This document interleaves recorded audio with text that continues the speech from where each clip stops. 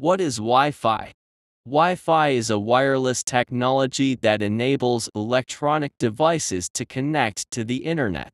Wi-Fi is a wireless technology that allows devices like smartphones, laptops, tablets, and other electronics to connect to the internet and communicate with each other over short distances without using physical cables. Who invented Wi-Fi? Wi-Fi technology was invented by Dr. John O'Sullivan and his team at the Commonwealth Scientific and Industrial Research Organisation in Australia. Dr. John O'Sullivan and his team patented Wi-Fi technology in 1996.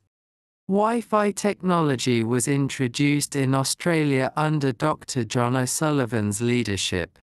How did Wi-Fi get its name? The Wi-Fi Alliance is an organization that owns the Wi-Fi trademark. In 1999, the Wi-Fi Alliance wanted a catchy, easy-to-remember name for the technology. To achieve this, they hired the company Interbrand. Interbrand came up with the name Wi-Fi.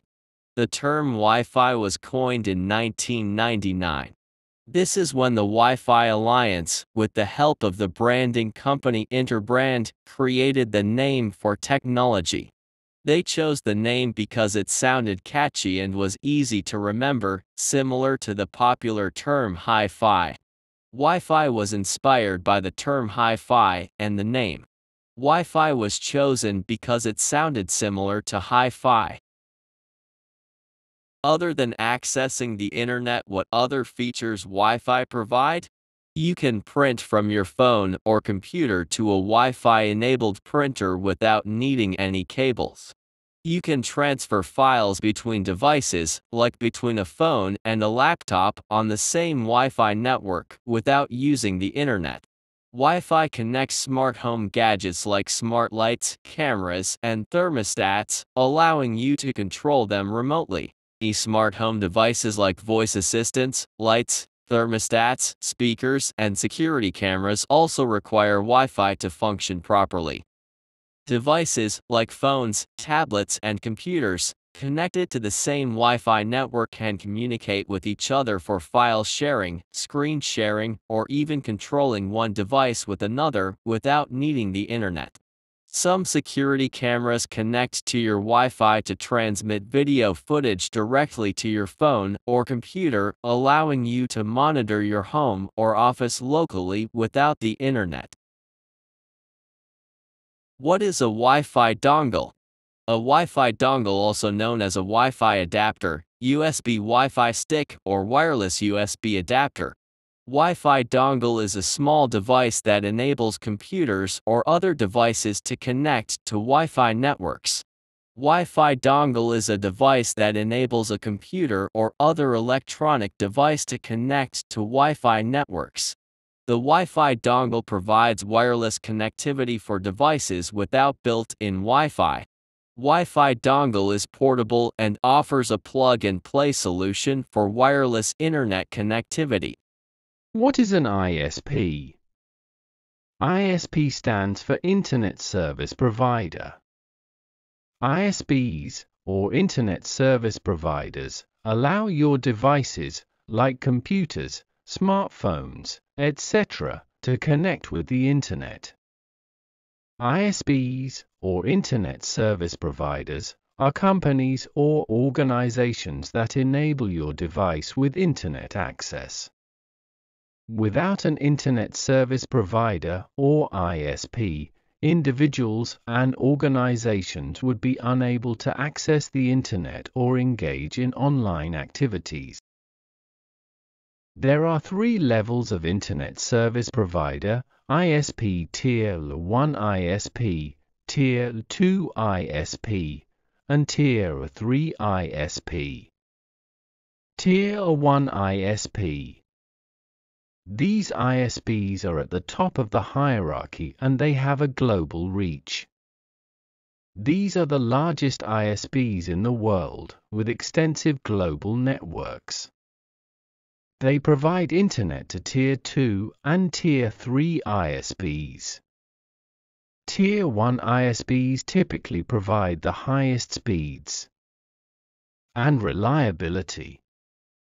They own and operate a vast portion of the Internet's infrastructure and do not rely on other ISPs for Internet. Tier 1 ISPs control the main Internet connections around the world. Tier 2 ISPs are smaller companies that rely on Tier 1 ISPs to connect to the Internet. Tier 2 ISPs depend on Tier 1 ISPs to connect to the global Internet. Tier 2 ISPs often operate in specific regions or countries. Tier 3 ISPs are the smallest companies that provide Internet to local areas and depend on Tier 1 and Tier 2 companies for their connections. Tier 3 ISPs usually provide services to specific towns, cities, or regions. Tier 3 ISPs depend on Tier 1 or Tier 2 ISPs for Internet connectivity. What is a modem? A modem is a networking device. It helps the computer and the Internet communicate with each other. The modem brings the internet from your ISP internet service provider into your home. A modem is a hardware device that enables communication between a computer and the internet. Modem performs two functions, modulation and demodulation. Use. A computer can only reads digital signals, while the internet only reads analog signal. In the process of demodulation, a modem helps the computer and the internet communicate to each other. Modem converts or demodulates internet analog signals into computer digital signals so that a computer can understand. The internet only reads analog signal. In the process of modulation, to let the internet understand computer signal. Modem also converts or modulates computer digital signals into internet analog signals. Modem performs two function, modulation and demodulation. The modem is a device that connects to the ISP network. Internet Service Provider ISP is a company that provides access to the internet. Modem is a device that connects your home or office to the ISP network. The modem receives the internet signal from the ISP and passes it to your device. Compare modem and router. If you only want one of your devices to access the internet, then only a modem is required. If you want to connect multiple devices to access the internet, then both a modem and a router are required. What is a router? The modem brings the internet from the ISP internet service provider into your home. The router takes that internet connection from the modem and shares it with multiple devices like smartphones, computers, and smart TVs. Once the modem gets the internet from the ISP internet service provider, the router distributes that internet to the devices in your home. A router is a device that allows multiple devices to access the internet. A router is a networking device that allows multiple devices to access the internet, either wirelessly, Wi-Fi, or through wired connections. What is the process of data transfer between a router and devices through Wi-Fi? Router. The router distributes internet to your devices through radio waves. The router sends out radio waves on specific frequencies, such as 2.4 GHz or 5 GHz. Devices like smartphones, computers, or tablets can detect these radio waves from the router and connect to the network, allowing them to access the internet. Once connected to the Wi-Fi network, the device can send and receive data enabling internet access for activities like browsing, streaming, and more. A Wi-Fi network is a system that allows devices to connect to the internet or each other wirelessly using radio waves. The router acts as the central device transmitting the Internet digital signal in the form of radio waves to devices. A Wi-Fi network enables Internet access without the need for physical cables. What are the different Wi-Fi frequency bands? Wi-Fi frequency refers to the specific radio frequencies used to transmit data wirelessly over a network. Wi-Fi operates on several frequency bands. The Wi-Fi spectrum is just a range of radio waves, or frequencies, that Wi-Fi networks use to send and receive data wirelessly. The most commonly used Wi-Fi frequencies are 2.4 GHz band, 5 GHz band, 6 GHz band, 2.4 GHz. It offers a longer range, meaning it can travel farther. Wi-Fi on the 2.4 GHz band has slower speeds. The 2.4 GHz band generally offers the slowest speed but has the longest range. Microwaves, phones, and Bluetooth devices interfere with Wi-Fi because they all use the same 2.4 GHz frequency band. When multiple devices use the same frequency, their signals can overlap and cause interference. 5 GHz band. The 5 GHz band has a shorter range and can only travel a shorter distance. Wi-Fi on the 5 GHz band has much faster speeds. The 5 GHz band is faster but has a shorter range. 6 GHz band. The 6 GHz band has a shorter range and can only travel a shorter distance.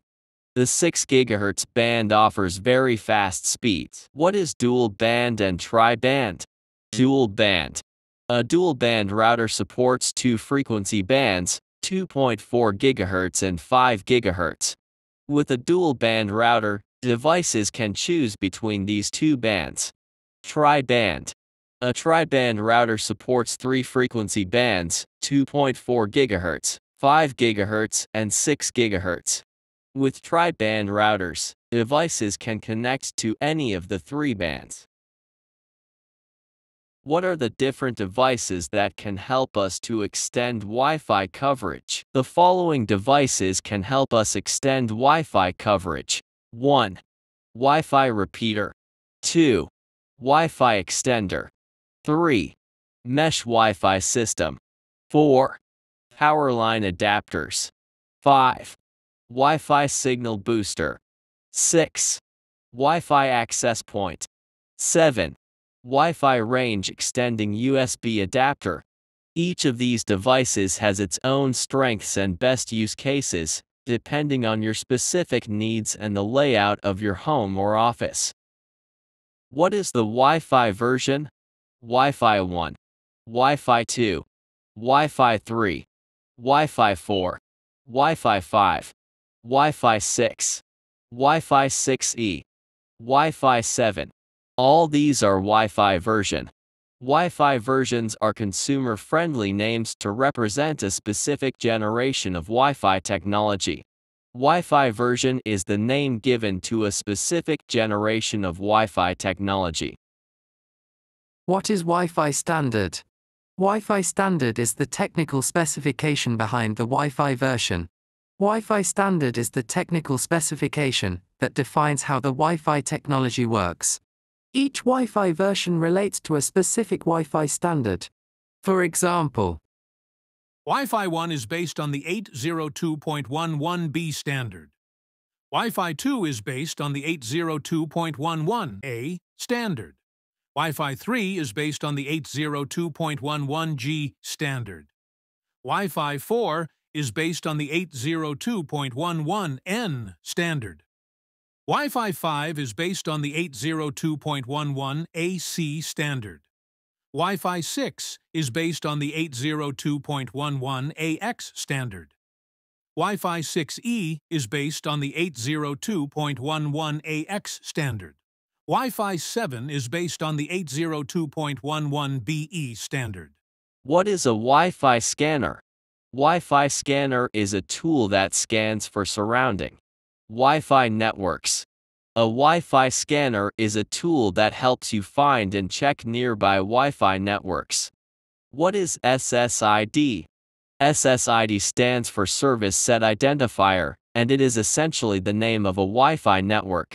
When you scan for available Wi-Fi networks on your smartphone, laptop, or other devices, the networks displayed on your screen are called SSID. Each SSID you see represents a different Wi-Fi network. What are Wi-Fi security protocol? When you choose a SSID or Wi-Fi network and enter the password, you're not just connecting to the network. You're also making sure that everything you send and receive is kept safe and private using special security measures. These security measures are called Wi-Fi security protocols. Wi-Fi security protocols are methods used to protect wireless networks. They help keep your data safe and ensure only authorized people can access the network. Over time, these protocols have improved to fix the weaknesses in older ones. What are the different Wi-Fi security protocols? Wi-Fi security protocols have evolved to improve network protection. 1. WEP, Wired Equivalent Privacy, was introduced in 1997. WEP, Wired Equivalent Privacy, uses RC4 Rivest Cipher 4 encryption. WEP, Wired Equivalent Privacy, is now considered outdated and insecure and should be avoided. 2. WPA, Wi-Fi Protected Access, was introduced in 2003. WPA, Wi-Fi Protected Access, uses TKIP, Temporal Key Integrity Protocol, encryption. WPA, Wi-Fi Protected Access, is still vulnerable and should not be used. 3. WPA2 Wi-Fi Protected Access 2 was introduced in 2004. WPA2 Wi-Fi Protected Access 2 uses AES, Advanced Encryption Standard, with CCMP, counter mode with Cipher Block Chaining Message Authentication Code Protocol. WPA2 Wi-Fi Protected Access 2 is currently secure and widely recommended, especially if WPA3 is not available. 4. WPA3 Wi-Fi Protected Access 3 was introduced in 2018. WPA3 Wi-Fi Protected Access 3 uses AES 256-bit encryption with SAE for authentication. WPA3 Wi-Fi Protected Access 3 is the most secure option and the best choice for modern networks. What is Wi-Fi calling? Wi-Fi calling lets you make phone calls over a Wi-Fi network instead of your mobile network. It works like a regular call but is useful when your cell signal is weak. Wi-Fi calling works by routing your calls and messages through a Wi-Fi network. Wi-Fi calling also works internationally when you're connected to Wi-Fi. Does Wi-Fi radiation have any harmful effects on health? The radiation emitted by Wi-Fi is generally considered safe, and there is no evidence to suggest that Wi-Fi causes cancer, tinnitus, ringing in the ears, or headaches. According to the World Health Organization, WHO, Wi-Fi is safe for everyday use. However, if you are concerned about exposure, you can take steps to reduce it, such as using wired connections or turning off your router when it's not in use. You find this video useful? If you find this video informative, hit the like button. Your likes are very precious. Your likes are very valuable. Like this video. Do you use Wi-Fi every day? Let us know in the comments section.